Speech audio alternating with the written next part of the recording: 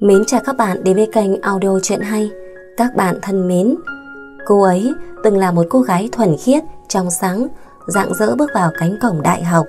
Nhưng rồi sóng gió cuộc đời xô đẩy cô ấy vào con đường cùng bán vốn tự có.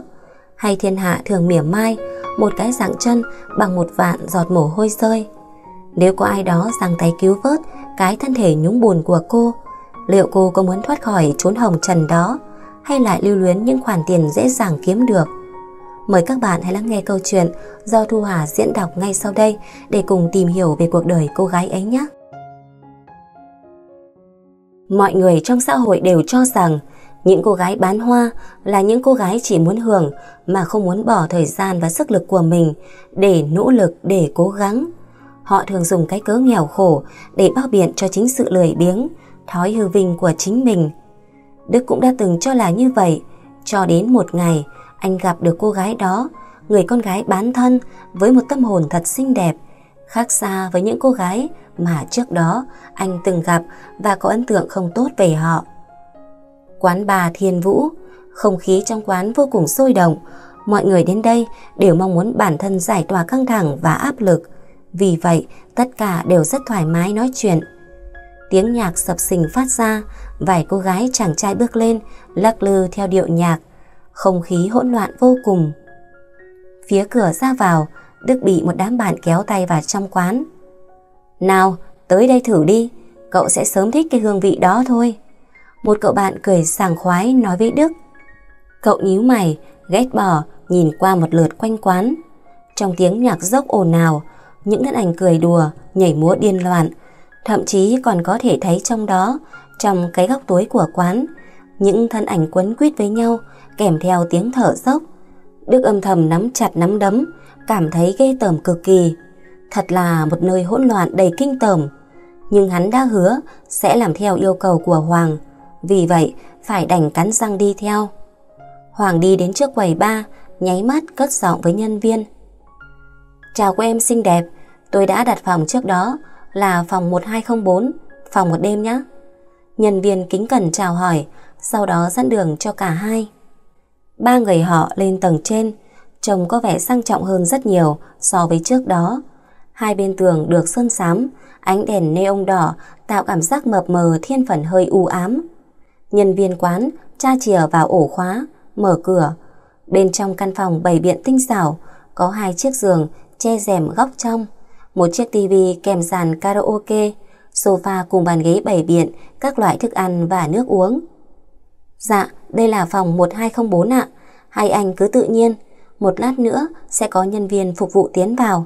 Hai anh muốn gọi thêm phục vụ không ạ? Thôi, không cần đâu em. Chủ yếu cho thằng bạn anh, nó trải nghiệm đó mà. Muốn thì anh gọi sau, thế nhá. Vâng ạ, vậy em xin phép ra ngoài. Chúc hai anh tận hưởng buổi tối vui vẻ. Nhân viên quán lễ phép đáp lời rồi ra ngoài đóng cửa. Hoàng khoác tay lên vai Đức kéo cậu ngồi xuống ghế sofa êm ái. Nào, thư giãn đi, rồi cậu sẽ sớm thích cái cảm giác đó thôi. Đức nhăn mày, hất cánh tay Hoàng ra, tự rót cho mình một ly nước lọc. Hoàng bật cười, gạt ly nước sang một bên, đổi sang một ly rượu cho anh. Bao nhiêu tuổi rồi, con uống nước lọc ở đây hả? Uống thử rượu này đi, là loại vodka nổi tiếng ở Pháp đấy, vị không tệ đâu. Lông mày Đức nhíu chặt, liếc nhìn ly rượu đắt đỏ trên bàn. Thôi nào, cậu hứa rồi mà, nào, uống đi. Hoàng nhét ly rượu đắt tiền vào tay Đức, sau đó tự rót cho mình một ly, một hơi cạn sạch. Đức thở dài, nhấp một ngụm rượu đỏ, rồi đặt lên bàn. Ừm, vị không tệ, anh thầm nghĩ. Bất chợt, cánh cửa bật mở, một cô gái với mái tóc đen dài, xen lẫn vài sợi highlight màu bạc, khuôn mặt vây lai tinh xảo, đôi môi đỏ rượu tỏa ra sự quyến rũ. Đó là nhân viên phục vụ của phòng này, cô tên là Lan. Lan nở một nụ cười chuyên nghiệp, đôi mắt đượm buồn, cúi chào Hoàng và Đức. Sau đó rất thành thục đến bên hai người họ, quỳ gối xuống sàn, cúi đầu chờ sai bảo. Hoàng cười khà khà, cất giọng. Nào, cô em, tới đây. Em tên gì? Dạ, thưa ngài, em tên là Lan ạ.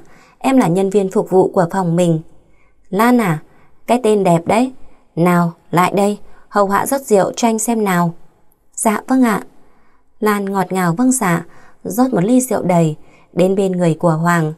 Cô cố kìm ném cảm giác buồn nôn trong cổ họng, mỉm cười lấy lòng, từ từ mơn trớn, leo lên người Hoàng, uốn éo rót rượu vào miệng anh. Chất lòng màu đỏ ngọt ngào ấy chảy xuống cổ họng Hoàng. Hoàng hài lòng, vỗ mạnh vào mông cô một cái. Ngoan lắm, không hổ nhân viên phòng VIP, chuyên nghiệp đấy. Hoàng nhếch mép, nhịp nhịp tay vào cây mông căng tròn của Lan. Lan cúi người, kính cẩn nói lời cảm ơn. Đôi mắt đen láy đượm buồn. Rõ ràng, bản thân cô đã làm công việc này hơn một tháng rồi, nhưng vẫn chẳng thể nào quen nổi với những trò đùa, những cái đụng chạm của khách hàng chính mình. Mỗi khuya, cô vẫn âm thầm khóc trong căn nhà trọ chật hẹp sập sệ. Ngay cả chính Lan cũng cảm thấy ghê tởm chính bản thân mình. Đi làm gái, bán thân kiếm tiền. Mỗi sáng đi học, nhìn dáng vẻ bạn bè chính mình trong sáng tươi cười. Cô thầm hổ thẹn về việc bản thân làm mỗi đêm. Cô đã bán rẻ thân xác chính mình để đổi lấy tiền. Cô thật bẩn, thật dơ bẩn làm sao. Nhưng cô lại chẳng còn lựa chọn nào khác. Thật chớ trêu khi chính bản thân lại làm cái nghề mà mình từng ghét bỏ, từng chê bai xem thường. Lan mỉm cười nhẹ, ngoan ngoãn quỳ gối bên cạnh Hoàng, như một con cún chờ đợi mệnh lệnh từ chủ nhân của chính mình. Hoàng cười khẩy rồi cất giọng. Nào, đi sang bên kia, hậu hạ cho bạn anh đi. Nó là khách chính đêm nay của cô em đấy. Đút rượu cho cậu ta bằng phương pháp của em đi chứ, nhỉ? Dạ vâng ạ. Lan ngoan ngoãn đáp lời, từ từ bò đến cạnh Đức. Bờ mông tròn và cặp bưởi lắc lư theo cô, lộ ra dáng vẻ quyến rũ. Vòng eo mảnh mai được khoe trọn bởi chiếc váy ôm bó sát. Chồng cô bây giờ thật lẳng lơ và quyến rũ làm sao. Hoàng khẽ tặc lưỡi, nhìn Lan bò chậm chậm đến bên Đức một cách quyến rũ. Thầm cảm thán, bản thân xui xẻo, bao lần đi bà không vớ được cô em, xinh tươi mọng nước như cô gái này. Nhưng hắn cũng không phải loại người cướp người của bạn. Đã bảo đến đây để Đức tận hưởng thì tuyệt đối sẽ không làm khác. Để lúc nào, đến rồi chị đích danh hưởng thụ vậy. Hoàng thầm nghĩ, ngựa cổ uống cạn một ly rượu.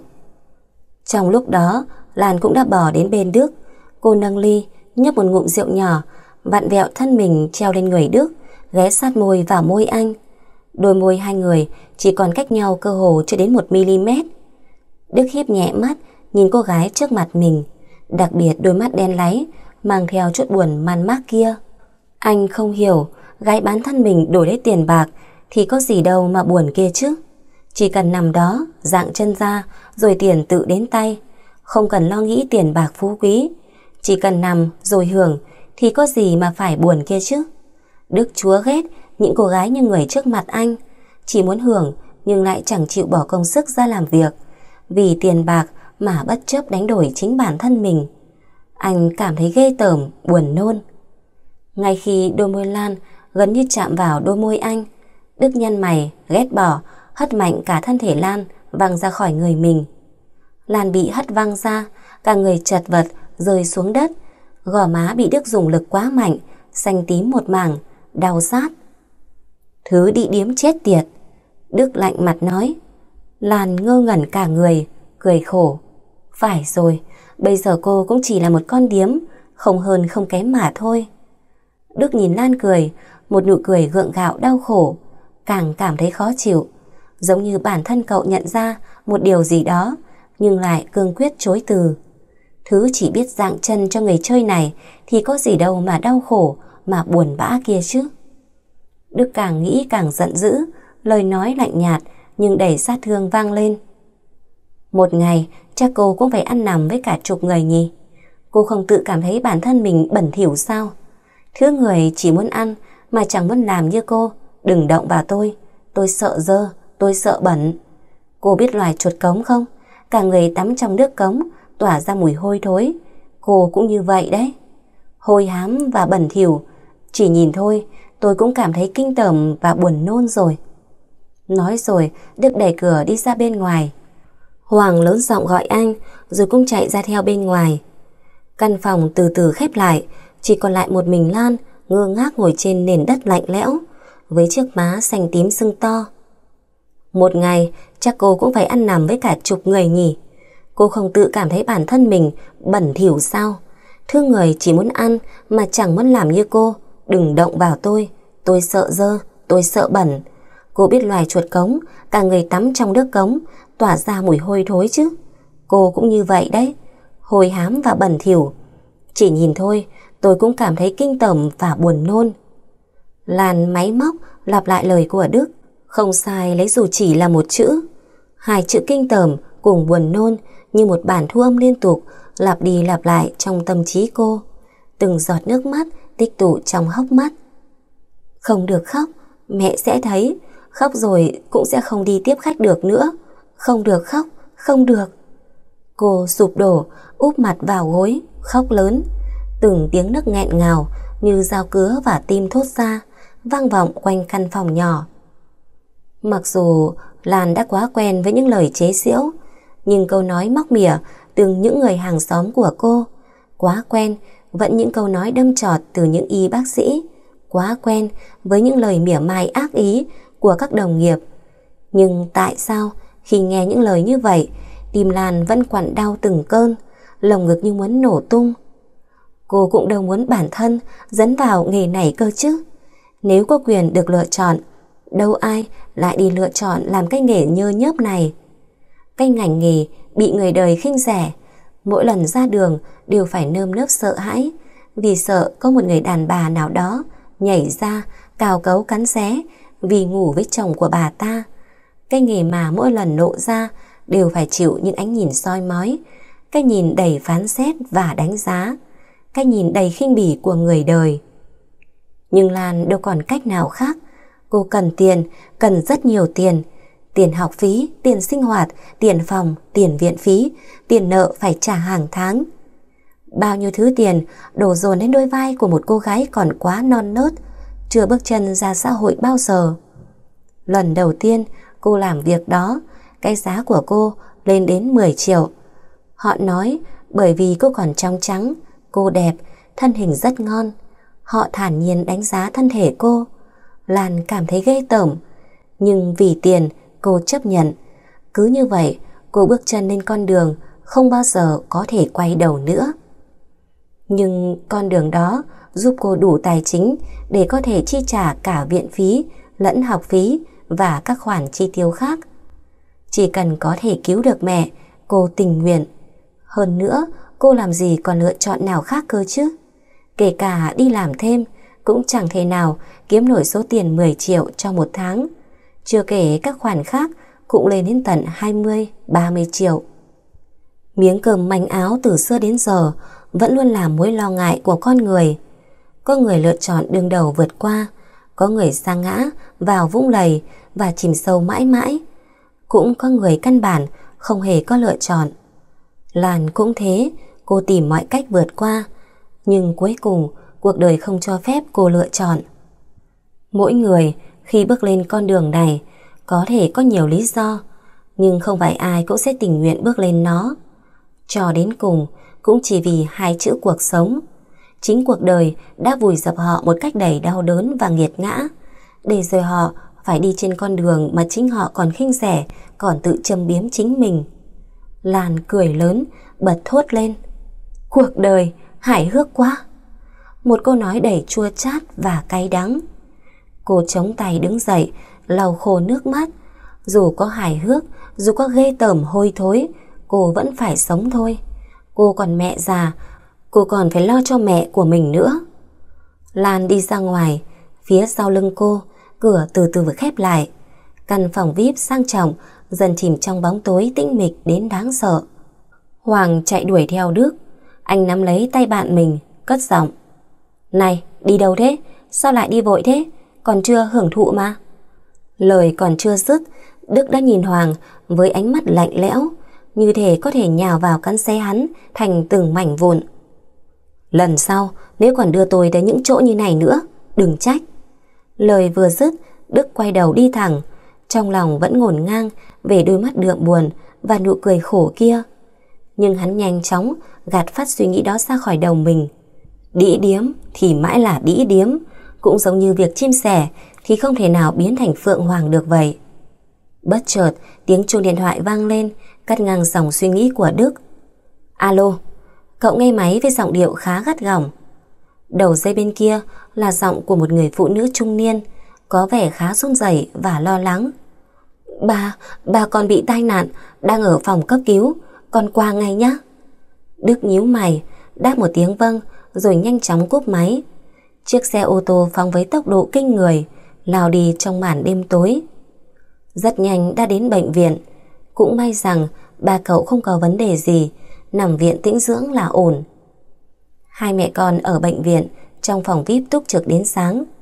Sáng hôm sau, Đức đi ra ngoài mua một ít cháo về cho ba. Về phía Lan, sau một đêm mệt mỏi dài đằng đẵng, cô cũng mang theo một ít cháo và thức ăn bổ dưỡng đến cho mẹ của mình. Trùng hợp, Đức và Lan gặp nhau ở cổng bệnh viện. Đức nhìn theo bóng lưng cô gái, tối hôm qua còn quyến rũ, lẳng lơ biết bao nhiêu. Hôm nay lại đoàn trang thục nữ, con ngoan trò giỏi đàng hoàng chín chắn. Hắn khẽ nhếch nhẹ môi, cảm thấy ghê tởm, nhưng cũng không nén nổi tò mò. Một người như cô ta thì tới chỗ này làm gì cơ chứ? Đức nhẹ vẫy tay, vệ sĩ ở gần đó được lệnh tiến lại gần. Đức cũng chẳng thể hiểu nổi bản thân, vốn dĩ hắn sẽ chẳng bao giờ để tâm đến những loại gái như vậy. Nhưng chẳng hiểu sao, ở cô ta có gì đó thu hút hắn. Có lẽ là đôi mắt đượm buồn ấy, một đôi mắt lẽ ra chẳng nên xuất hiện ở những cô gái làm nghề như cô, khiến hắn khó hiểu, khiến hắn ta tò mò, khiến hắn muốn tìm hiểu. Một kẻ muốn ăn mà chẳng muốn làm, rốt cuộc có gì phải buồn kia chứ? Anh lắc đầu, thoát ra khỏi mớ suy nghĩ hỗn loạn, đi vào trong bệnh viện. Hình bóng Lan thấp thoáng ở ngoài cửa thang máy, sự tò mò dâng lên, thôi thúc anh. Người ta nói tò mò hại chết con chuột, quả không sai. Đức kéo mũ áo, đeo khẩu trang che khuôn mặt, lẳng lặng đi theo Lan. Hừm, chắc quan hệ nhiều người nên nhiễm bệnh rồi. Thứ dơ bẩn mà, không cần đi theo cũng biết. Thầm nghĩ như vậy, nhưng hắn vẫn rất thành thật, im lặng đi theo phía sau. Cuối cùng cũng đến nơi, Lan ở ngoài phòng bệnh, âm thầm điều chỉnh quần áo và trạng thái của bản thân một chút, rồi mới đẩy cửa bước vào. Đức cảm thấy cô ta thật khó hiểu, thăm bệnh thôi mà cũng cần phải chỉnh trang sao? Hay là lại định quyến rũ bác sĩ chứ gì? Nghĩ đến đó, hắn khẽ nhếch mép. Nhưng khi tiếng mẹ vang lên, anh không khỏi sững sờ. Vậy mà lại là mẹ cô ta. Đức ngẩn ngơ, sau đó muốn tiến lại gần ngay ngóng, thì bất chợt cánh cửa đóng sầm lại. Đức tức tối nhìn bên trong, cố gắng áp sát tai nghe ngóng, nhưng chẳng ăn thua. Cách âm ở bệnh viện luôn rất tốt, cho dù có là phòng thường hay là phòng VIP thì đều như vậy. Đặc biệt đối với bệnh nhân đã ở giai đoạn nặng như bà Lâm, mẹ của Lan, lại càng cần sự an tĩnh để tĩnh dưỡng. Vì vậy, hắn không thể nào nghe rõ cô và người phụ nữ kia nói gì. Bất chợt, một cô lao công đẩy xe đẩy dọn dẹp tiến vào, thu hút sự chú ý của hắn. Bác ơi! Đức khẽ gọi. Cô lao công quay đầu, gật gật chào hỏi rồi đáp lời. Có chuyện gì sao cháu? Vâng, cháu nhờ bác một chuyện được không ạ? Một lúc sau, bác lao công nhét sấp tiền giày vào trong đó, mang theo chiếc điện thoại tiến vào phòng bệnh của bà Lâm, bắt đầu dọn dẹp. Đức ở bên ngoài cửa, cười thỏa mãn. Cuối cùng cũng có thể nghe thấy cuộc trò chuyện của bọn họ. Mẹ à, mẹ đừng lo, con nhất định sẽ đóng đủ viện phí cho mẹ mà. Con vẫn ăn uống, nghỉ ngơi đều đặn và học tập chăm chỉ. Tiếng Ngọc Lan truyền đến, chui vào tai Đức một cách rõ ràng và rành mạch. Hắn giật mình, theo bản năng đưa điện thoại cách xa ra một chút. Đức chưa bao giờ nghĩ rằng Lan lại là một người có hoàn cảnh, có vẻ khó khăn đến như vậy. Ghé sát tai vào chiếc điện thoại, giọng nói của Lan tiếp tục truyền vào tai Đức. Con có rồi mà, có một vị hảo tâm đã giúp đỡ chúng ta, mẹ đừng lo lắng về vấn đề tiền bạc nữa, cố gắng tĩnh dưỡng thật tốt, nhanh chóng khỏi bệnh ạ. Nhưng Lan à, tiền chữa trị một tháng cũng lên đến hơn 10 triệu, cộng vào khoản nợ lão già đó để lại, học phí của con và phí sinh hoạt, đã lên đến con số 20 triệu rồi. Thực sự có người tốt như vậy ư? Mỗi tháng tình nguyện bỏ ra 20 triệu giúp đỡ chúng ta. Con nói thật đi, con giấu mẹ chuyện gì, đúng không con? Lan hơi chớp mắt nhìn mẹ mình, đoạn cô cười xòa. Mẹ à, tổ chức từ thiện của bọn họ rất lớn, tiền này là mọi người cùng nhau quyên góp giúp đỡ, nên mẹ đừng lo lắng linh tinh nữa mà. Thật chứ? Mẹ Lâm vẫn bán tín bán nghi hỏi lại, bà sợ con gái mình làm gì đó không đứng đắn, họa rước vào thân thì khổ. Lan mỉm cười, một nụ cười thật xinh đẹp, trong trẻo và rạng rỡ. Thật mà, mẹ yên tâm đi ạ. Tiếng trò chuyện dần vang xa, Đức cảm thấy tai mình như ủ đi, không còn nghe rõ cuộc trò chuyện nữa. Anh vội cúp điện thoại, như chạy trốn mà đi nhanh về chỗ ba mình dưỡng thương, lòng đầy ngổn ngang. Đức chưa bao giờ nghĩ rằng phía sau một cô gái bán hoa lại là một hoàn cảnh ngặt nghèo khó khăn như vậy. Viện phí, học phí, tiền nợ của cha, tiền sinh hoạt, tất cả đều đổ dồn lên đôi vai mảnh khảnh, đáng thương đó. Hắn đột nhiên hiểu vì sao Lan lại lựa chọn bước lên con đường đó. Đổi lại, dù là ai cũng sẽ làm vậy thôi. Đâu còn lựa chọn nào khác cơ chứ. Bảo một người mới lên đại học đi làm thêm được tròn 20 triệu mỗi tháng. Căn bản, đó là một điều không thể nào làm được. Một con người chân ướt chân giáo bước ra ngoài xã hội, đòi hỏi số tiền lương cao như vậy, sẽ có công ty nào nhận sao? Đáp án hiển nhiên là không. Dù có là công ty lớn nhất thế giới đi chăng nữa, điều đó cũng là không thể nào. Không bằng đại học, không kinh nghiệm, gánh trên vai khoản nợ khổng lồ. Còn nghề nào có thể cứu vớt được cô ta bằng cái nghề đó đây? Cái nghề vạn người căm ghét. Đức thở dài một hơi, âm thầm cảm thán, thấy anh ấy và có lỗi với Lan vì bản thân đã nặng lời với cô lúc đó. Nhớ lại đôi mắt đen láy buồn bã, lấp lánh nước, nhưng vẫn cố kìm nén nở nụ cười gượng gạo, mang tính chuyên nghiệp kia. Không biết làm sao, anh lại cảm thấy khó chịu. Cầm điện thoại lên, anh làm ra một quyết định táo bạo mà chính bản thân anh cũng chẳng ngờ được có ngày mình sẽ lại làm điều đó. Lợi dụng thế lực từ gia đình của mình đi điều tra tường tận hoàn cảnh của một người. Rất nhanh, vệ sĩ đã gửi toàn bộ thông tin của Lan vào máy của Đức. Từng có một gia đình vô cùng hạnh phúc, nhưng sau đó bà đổ nợ, lâm vào cờ bạc nghiện ngập, số tiền nợ lên đến 300 triệu, đã ôm hết toàn bộ của cải trong nhà bỏ trốn. Hiện tại không rõ tung tích. Mẹ của Lan bị bệnh nặng, hàng tháng chi phí chữa bệnh hết khoảng 10 triệu. Cô ta trước đây, một ngày làm đến 3 đến 4 công việc, nhưng vẫn không thể lo nổi khoản chi phí đó. Tiền học cũng được miễn một phần do học bổng, tuy nhiên vẫn phải trả. Cô ta bắt đầu bước lên con đường làm gái từ một tháng trước. Đức đọc lướt qua toàn bộ thông tin vệ sĩ gửi cho mình, lại nhìn bức ảnh người con gái với nụ cười tỏa nắng, từ từ trở thành dáng vẻ như hiện tại. Lòng khẽ nhói, anh thương cảm cho số phận của cô gái ấy, khâm phục sự kiên cường đó và áy náy vì đã nói những lời như vậy với cô. Đức khẽ thở dài. Bầu trời bắt đầu tối dần, tia nắng cuối cùng của hoàng hôn dần bị đêm đen nuốt trọn. Khắp thành phố, những ánh đèn điện lấp lánh dần bao phủ, cảnh tượng đẹp đến mơ hồ. Đức đứng trên phòng bệnh của ba, nhìn xuống dưới, nhìn xuống đô thị phồn hoa, lòng không ngừng ngổn ngang về Lan. Cô gái anh chỉ mới gặp một lần duy nhất, cuộc gặp gỡ còn chưa kéo dài đến 5 phút đồng hồ. Nhưng chẳng hiểu sao, Đức vẫn nhớ rõ hình bóng cô gái ấy, nhớ rõ đôi mắt đượm buồn, ngập nước nhưng vẫn cố nén không cho nước mắt chảy ra. Chết tiệt, hắn chửi thề, sau đó lao nhanh ra bên ngoài, để lại ba mẹ mình đang đầy khó hiểu. Chỉ nửa tiếng sau, Đức đã có mặt ở Thiên Vũ. Hắn đi vào bên trong, nơi đây vẫn vậy, tiếng nhạc dốc ồn ào, mùi rượu cùng mùi nước hoa xẻ tiền quanh quẩn bên chóp mũi, khiến người ta buồn nôn. Vài tiếng rên rỉ xen lẫn tiếng hú hét, thở dốc, khàn khàn gợi cảm. Đức nhíu chặt mày lại, đây là lần đầu tiên anh một mình đến một nơi như vậy. Nhưng nghĩ đến điều gì đó, Đức dù chán ghét, vẫn nhăn mặt đến chỗ quầy phục vụ. Tôi muốn một phòng VIP, tôi muốn chị đích danh, cô Lan phục vụ. Vừa nói, anh vừa chìa tấm thẻ đen quyền lực ra. Vâng, thưa anh ạ. Nhân viên lịch sự đáp lời, sau đó xuất hóa đơn. Tổng của anh hết 2 triệu, tôi đã quẹt thẻ, mời anh đi theo tôi. Cô nhân viên khẽ mỉm cười, dẫn anh lên phòng VIP. Phòng của anh ạ. Nhân viên mở cửa, trao chìa khóa, vẫn là câu hỏi và lời dặn dò đúng tiêu chuẩn. Sau đó, cánh cửa phòng từ từ khép lại. Chỉ còn một mình Đức ngồi trên ghế sofa, âm thầm lo lắng. Không để anh chờ lâu, một giây lát sau, cửa bật mở.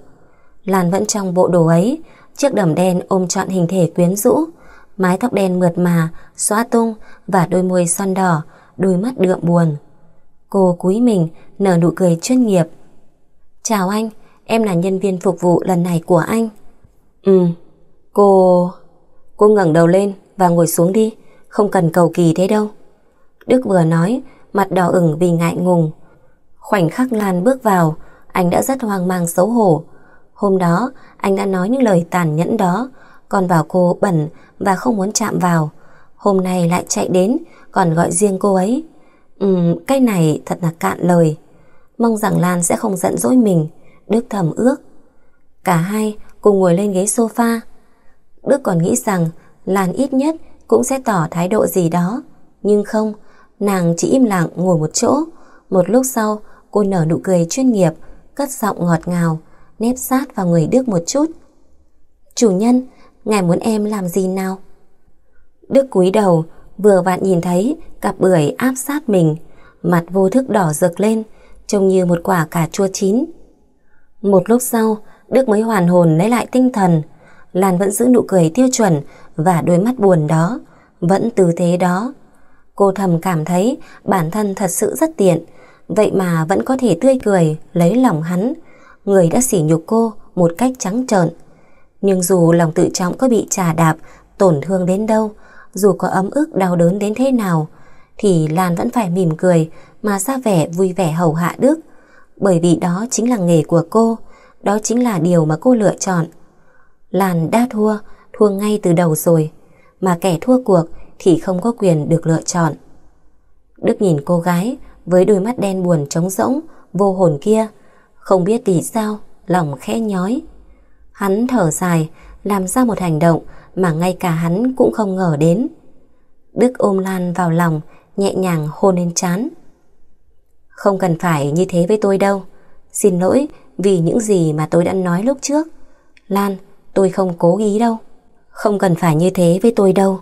Xin lỗi vì những gì mà tôi đã nói lúc trước. Lan, tôi không cố ý đâu. Lan ngây ngẩn, ngồi im không nhúc nhích trong lòng Đức. Mùi hương bạc hà từ sữa tắm thoang thoảng qua mũi, bờ vai rộng lớn vững chãi, cái ôm ấm áp và đầy thiện ý. Không biết vì sao, khóe mắt Lan cay cay. Cô nhớ lại, thời bản thân vẫn còn bé, bố của cô cũng đã từng ôm cô một cách dịu dàng như vậy, từng nhẹ nhàng xoa đầu cô, từng hôn lên trán cô. Cái ôm đó, cái hôn đó, đến tận bây giờ, Lan vẫn cảm nhận được hơi ấm thông qua nó. Sự ấm áp dịu dàng đó là thứ mà Lan mong mỏi suốt thời gian qua. Cô giúp cả người trong lòng Đức gạt bỏ tất cả mà khóc lớn như một đứa trẻ. Cô đã phải chịu đựng quá nhiều rồi.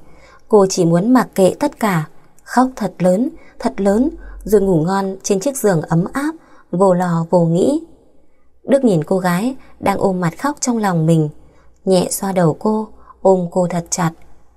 Đêm hôm đó, có hai người ở trong phòng VIP, quán bar, ôm nhau ngủ thật an nhiên. Sáng hôm sau, Đức gọi cho Lan một suất cơm và một bộ đồ bình thường. Lan cảm động, nói lời cảm ơn, sau đó thay đồ và ăn sáng. Đức muốn chở cô đi học, trùng hợp thay, vậy mà cả hai lại học cùng một trường, cùng một khoa, chỉ là khác lớp và khác năm.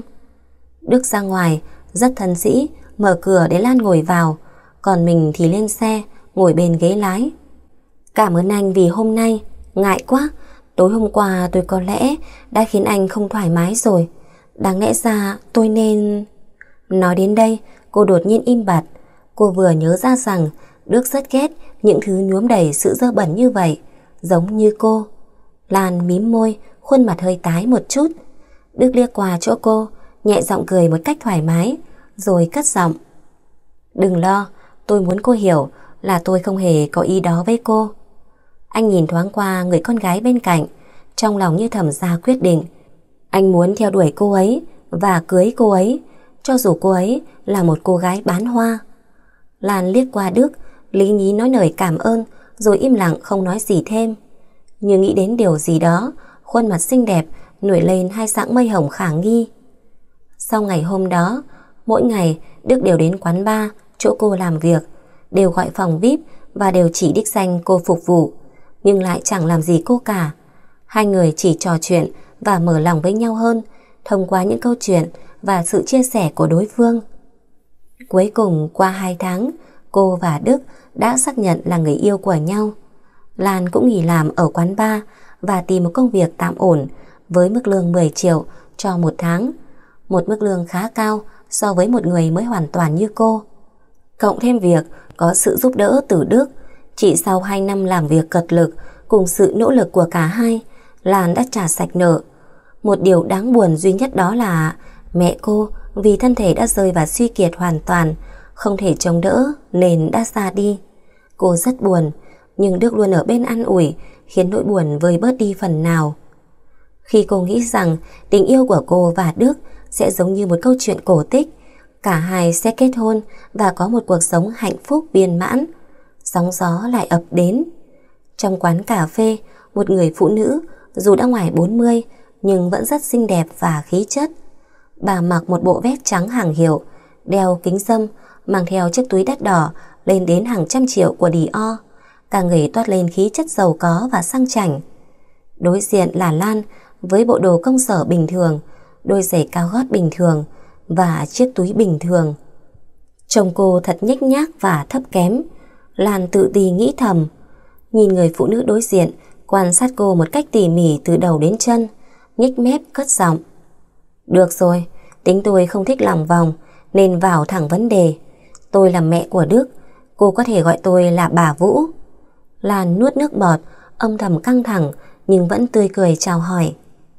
Cháu chào bác ạ, bác tìm đến cháu, có vấn đề gì vậy ạ? Bà Vũ nheo mắt, cười nửa miệng. Tôi nghĩ cô đã biết rồi chứ nhỉ? Tôi biết cô và con tôi quen nhau cũng lâu, cứ nghĩ yêu đương tuổi trẻ bồng bột nên không cấm cản. Chả ngờ nó lại muốn cưới cô. Lan nắm chặt tay, muốn giảm bớt căng thẳng, nở nụ cười tiêu chuẩn và đáp lời. Thưa cô, cháu và Đức là thương nhau thật lòng, mong cô tác thành ạ. Lan cúi đầu xuống, rất nhanh sau đó đang ngẩng đầu lên. Bà Vũ tháo kính để lộ đôi mắt màu xanh đầy nguy hiểm và áp lực cho người đối diện. Lan dù rất sợ nhưng vẫn âm thầm cổ vũ bản thân, nhìn thẳng vào mắt bà Vũ. Bà Vũ khẽ nhếch mép, lấy ra từ trong túi một sấp ảnh, ném lên bàn. Cô xem qua đi. Lan khó hiểu nhìn bà Vũ, nhưng vẫn cầm lấy sấp ảnh và xem qua. Càng xem, gương mặt Lan càng tái nhợt đi một cách nhanh chóng. Bà Vũ mỉm cười, một nụ cười của kẻ chiến thắng. Dường như bà đã đoán được kết quả. Không chờ Lan mở miệng, bà Vũ đã cất giọng. Tôi nghĩ là cô đã đủ hiểu sau khi nhìn thấy thứ này. Cô Lan, gia đình tôi tuyệt đối không chấp nhận một người con gái từng làm đĩ bước chân vào nhà họ Vũ. Đoạn, bà lấy ra một tấm thẻ đặt lên bàn. Trong này có 500 triệu đủ cô sống an nhàn cả đời. Cô cầm đi, sau đó cách xa con trai tôi ra. Tôi nghĩ là cô biết cô nên làm thế nào đúng không? Bà Vũ mỉm cười, sau đó đứng dậy rời đi. Chỉ còn lại một mình Lan ngồi đó, với gương mặt tái nhợt, sững sờ đầy nước mắt. Bất chợt, cánh cửa quán cà phê bị đẩy mạnh ra. Đức xông vào với vẻ mặt lo lắng ôm Lan vào lòng. Cả hai lên xe rời đi. Dọc đường, Lan vẫn không khá hơn là bao nhiêu. Nước mắt cô liên tục chảy dài trên khuôn mặt nhỏ nhắn. Rất nhanh, đã về đến căn hộ riêng của Đức. Lan dường như không kìm nén nổi nữa, ôm lấy anh khóc nức nở. Đức dường như cũng hiểu chuyện gì đã xảy ra, ôm chặt cô vào lòng, nhẹ nhàng vỗ về an ủi. Đêm nay là một đêm rất dài. Sáng hôm sau, Đức cùng Lan đến nhà chính của nhà họ Vũ.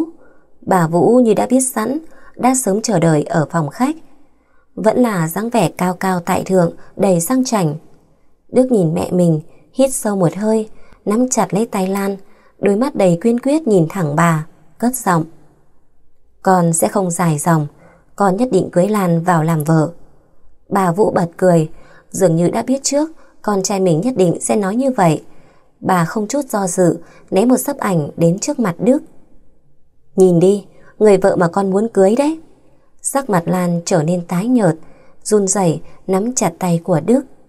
Đức đáp lại nàng bằng cái nắm tay thật chặt.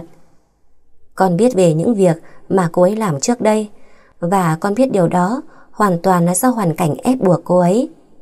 Con tin rằng cô ấy yêu con thật lòng và con cũng yêu cô ấy như cô ấy yêu con. Chúng con sẽ tổ chức đám cưới vào tháng sau. Bà Vũ liếc qua Lan đang trốn phía sau Đức, bật cười. Con bảo ả ta yêu con, vậy thì cô ta đã không nhận tiền của ta chứ nhỉ? Còn nữa, con nghĩ rằng nếu như con chỉ là một thằng khố rách áo ôm, không có gì trong tay, cô ta sẽ bên con sao? Thằng con trai ngu ngốc. Đức đang định phản bác, thì Lan đang ngăn anh lại. Cô lấy từ trong túi tấm thẻ mà bà Vũ đưa cho cô trước đó, đặt lên bàn. Lan nắm chặt tay Đức, như thể nó có thể truyền cho cô một nguồn sức mạnh nào đó vậy. Bác Vũ, cháu trả lại bác chiếc thẻ, cháu vẫn chưa sử dụng số tiền đó. Bác yên tâm, còn việc bác nói, cháu nhất định sẽ luôn yêu anh ấy, cho dù anh ấy có nghèo khổ hay giàu có đi chăng nữa. Tấm lòng cháu mãi không bao giờ thay đổi. Bà Vũ nhìn vào đôi mắt đen láy, đầy quyết tâm kia của cả hai, nhíu chặt mày rồi bật cười. Để xem hai người kiên trì được bao lâu, toàn bộ tài sản con đang có đều là do gia đình đầu tư thì cần nghe theo lời gia đình. Bây giờ ta tịch thu lại toàn bộ. Bảo vệ đâu, đuổi hai đứa nó ra khỏi nhà đi. Lan cùng Đức nhanh chóng bị bảo vệ đuổi ra ngoài. Trong phòng khách lúc này chỉ còn mình bà Vũ. Tình yêu à? Nực cười. Bà Vũ khẽ liếc một chút. Ở phía trên lầu, người đàn ông đang ngồi đăm chiêu trước bức ảnh một cô gái xinh đẹp. Tình yêu rồi cũng sẽ phải chịu thua trước tiền bạc thôi. Trên đời này không có một túp lều tranh hay trái tim vàng đâu. Thứ đó không bao giờ tồn tại. Tách trà trong tay bà Vũ bóp nát thành từng mảnh. Đôi mắt màu xanh lam lóe lên từng tia sáng lạnh lẽo. Bên này, mặc dù Đức đã mất hết tài sản, bao gồm cả công việc, nhưng anh vẫn chưa từ bỏ. Đức rất nhanh đã tìm được một công việc với mức lương ổn định, 15 triệu một tháng.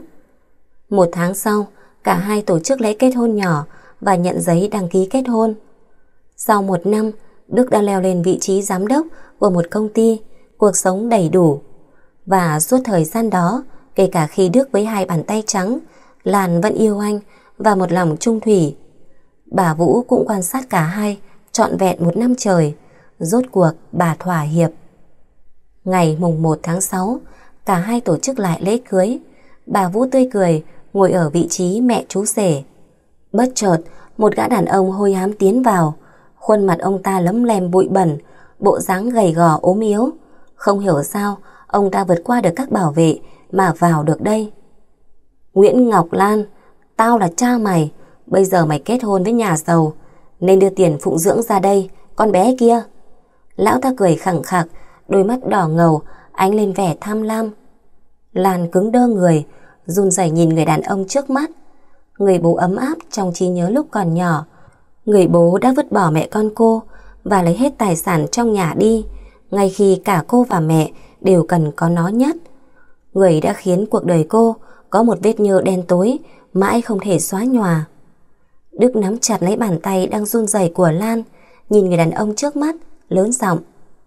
Ông còn có mặt mũi đến đây đòi tiền sao? Vậy lúc cô ấy cần ông nhất, ông ở đâu? Lúc ông mang tiền bỏ trốn, để lại hai mẹ con cô ấy gánh vác khoản nợ khổng lồ. Có nghĩ đến tình cha con, tình vợ chồng. Bây giờ ông vẫn còn dám mặt dày đòi tiền. Trong suốt 7 năm trời, ông bị lâm vào tệ nạn đã khiến cô ấy cùng mẹ cô ấy khổ sở đến thế nào không? Lão ta run rẩy, đôi mắt đỏ ngầu, không biết lão ấy lấy đâu ra một khẩu súng. Cầm miệng, cầm miệng hết cho tao. Đưa tiền đây, đưa tiền đây, tao mặc kệ. Lão hét to, rồi không chút do dự, bóp cò.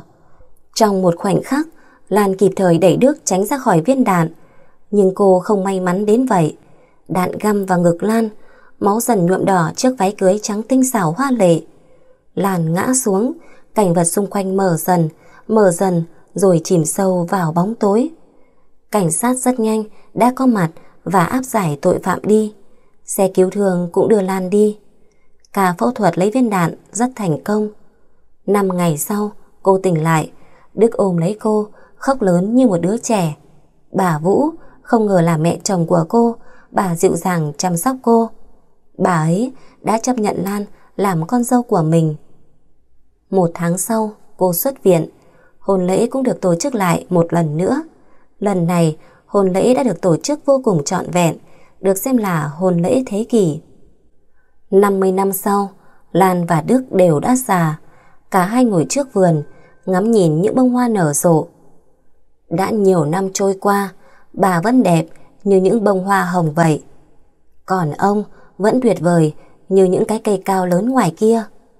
Cả hai nhìn nhau, mỉm cười hạnh phúc, nắm lấy tay nhau, khép mắt lại. Họ đã có một cuộc đời hạnh phúc và tuyệt vời. Các bạn thân mến, câu chuyện xin được khép lại tại đây. Có những định kiến rất khó xóa nhòa, có những hoàn cảnh đáng thương thật sự mới đành bất lực đưa chân vào vũng bùn đó. Lan rất may mắn khi gặp được Đức, không phụ lòng sự tin tưởng của Đức, cô luôn mạnh mẽ vượt qua tất cả để được ở bên người mình yêu. Rất mong nhận được những dòng bình luận của các bạn khi nghe xong câu chuyện ngày hôm nay. Và các bạn cũng đừng quên ủng hộ kênh chuyện bằng cách, nhấn đăng ký kênh và nhấn vào quả chuông thông báo. Cảm ơn các bạn rất nhiều. Audio chuyện hay xin chào và hẹn gặp lại các bạn trong những câu chuyện sau.